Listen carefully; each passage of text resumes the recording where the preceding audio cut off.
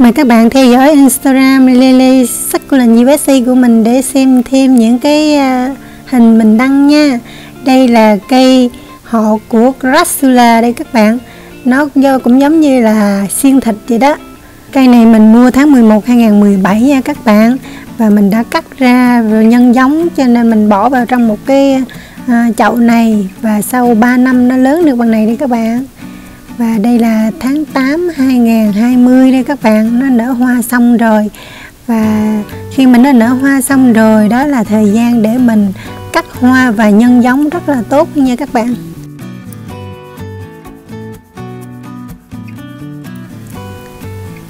Các bạn đừng lo lắng là mình cắt nó ngắn nha. Mình cắt nó ngắn thì sau đó nó sẽ mọc trở lại và sẽ mọc thêm nhiều đầu hơn và mọc đẹp hơn.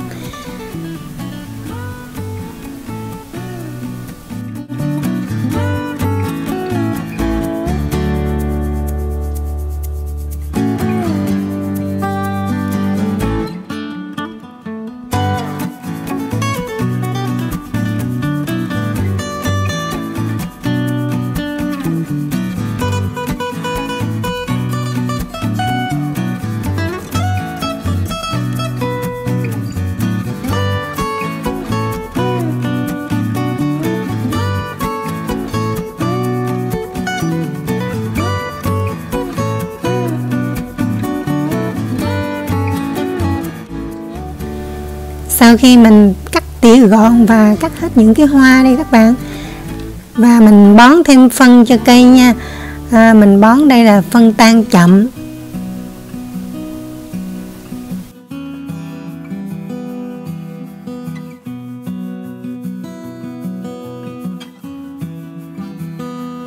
Hôm nay mình sẽ so sánh 5 cái loại cắt khác nhau để mà nhân giống nha các bạn. Cái đầu tiên đây là mình cắt à, nó hơi dài cái cọng và mình bỏ bớt lá nha.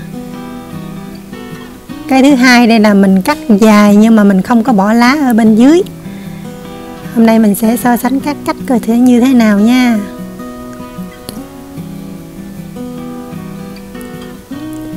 Cái số 3 là mình cắt đây là bốn lá thôi và mình bỏ bớt hai lá ở phía dưới.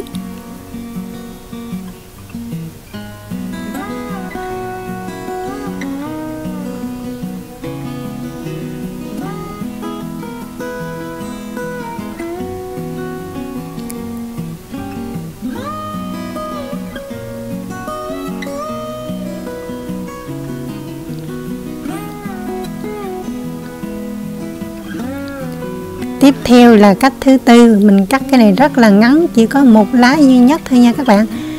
Cái lá này nó rất là ngắn luôn.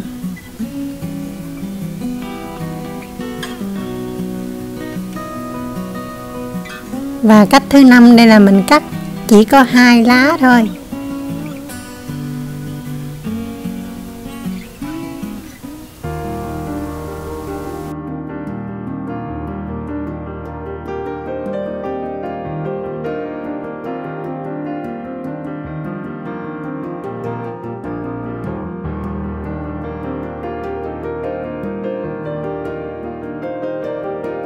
Và mình sẽ nhân giống bằng lá nữa nha các bạn.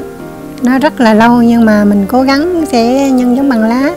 Và bây giờ là mình trồng vào đất đây các bạn. Đất đây là mình dùng đất thịt trộn với lại phân bò và đá. Đá trân châu đá phơi lai nha các bạn.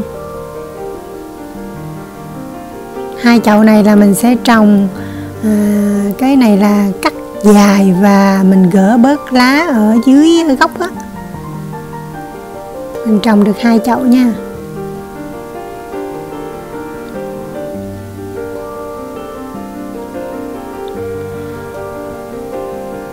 Và đây là cái mà cắt bốn lá và mình lặt bớt hai lá ở phía dưới.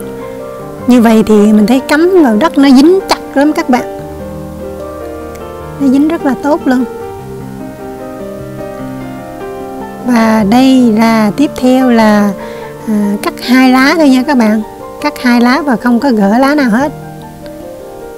Mình cắm thì mình thấy nó không có được dính lắm.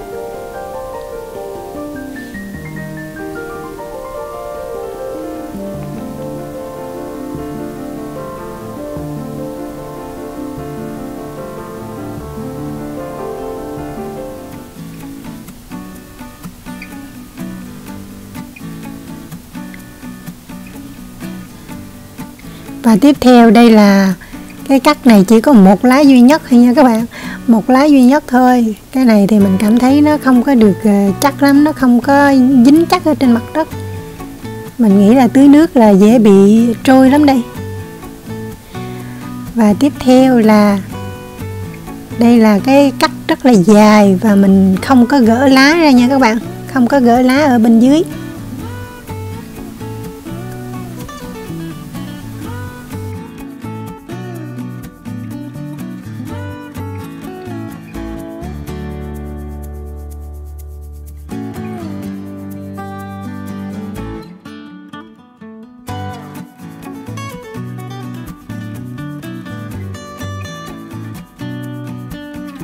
Mình nhân giống vào mùa hè cho nên các bạn phải để ở trong mát và tưới nước một tuần hai lần nha.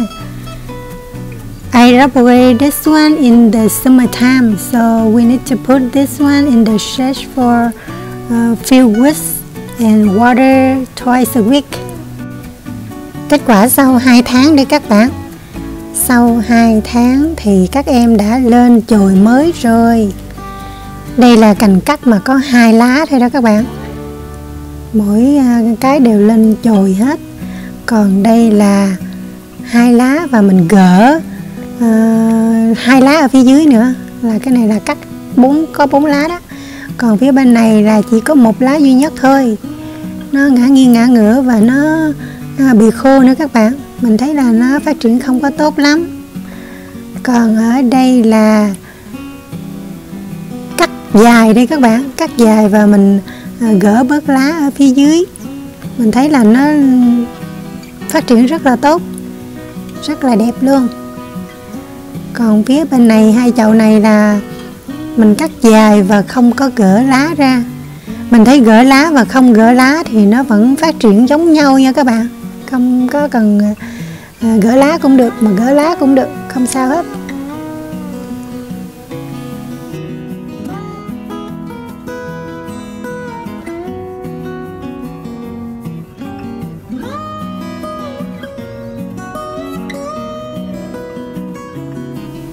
Cây mẹ sau 2 tháng cắt tỉa đây à, cây mẹ lên rất là nhiều đầu mới luôn các bạn. Lên những cái chồi mới rất là xinh luôn.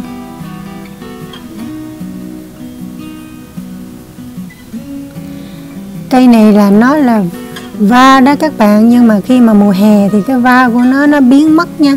Và mùa xuân thì cái va của nó cái màu lên lên rất là đẹp luôn.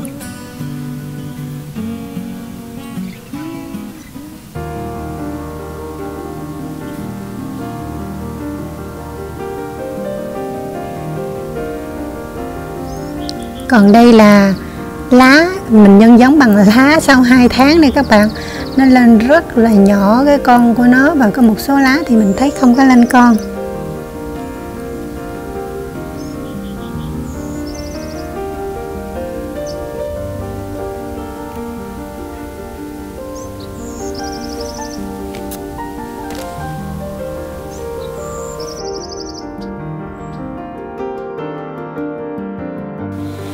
Sau 4 tháng mình tỉa cho cây mẹ, và cây mẹ lên rất là nhiều đầu và đẹp lắm luôn các bạn. Và mùa, bây giờ là tháng 12 cho nên không có lên màu nha. Còn đây là những cái cắt dài mà mình không có vặt lá đây các bạn. Sau 4 tháng nó cũng lên chậm thôi, nhưng mình nó lên rất là đẹp luôn. Còn đây là cái chậu này là mình cắt dài và vặt lá bên dưới bớt đó, đó các bạn. Nhưng mà còn có một chậu thôi. Một chậu mình đã bán rồi. Còn đây là cái chậu này là chỉ có một lá thôi đó các bạn. Cắt một lá mình thấy là nó phát triển hơi chậm. Cái lá này bị úp ngược mà nó cũng lên luôn các bạn. Còn bên đây là hai chậu là một chậu là cắt ngắn mà vặt lá bên dưới. Ờ, hai lá ở bên dưới và một chậu là cắt hai lá thôi. Mà mình thấy là để lại hai lá thì nó phát triển gần như là giống như nhau các bạn. Và nó phát triển tốt hơn là cắt ừ, mà để có một lá thôi. Một lá nó không có sức để nó lớn. Cho nên các bạn có thể cắt để hai lá để nhân giống là tốt nhất nha. Để dài cũng được, nhưng mà để dài thì nó hơi tốn ờ, phí một chút xíu. Còn đây là nhân giống bằng lá thì các bạn nhân giống bằng lá thì à, các bạn nhìn xa có thể là không thấy gì hết luôn. Sau 4 tháng à, con nó lên rất là bé xíu luôn các bạn rất là nhỏ luôn. Cho nên nhân giống bằng lá thì xiên thịt các bạn phải à, cố gắng chờ đợi nha. Nó lớn rất rất là lâu luôn. Cái họ của Grassula nó rất là chậm lớn bằng lá cho nên phải rất là kiên nhẫn nha mình có đăng một cái video 229 đó các bạn. Mình cũng nhân giống bằng lá. Và sau 4 tháng thì cái lá của nó lên rất là nhỏ xíu luôn các bạn. Lên chút xíu xíu thôi, không có lớn nhiều đâu. Cảm ơn các bạn đã theo dõi video ngày hôm nay của mình nha. Hẹn gặp lại các bạn vào những video sau. Bye bye.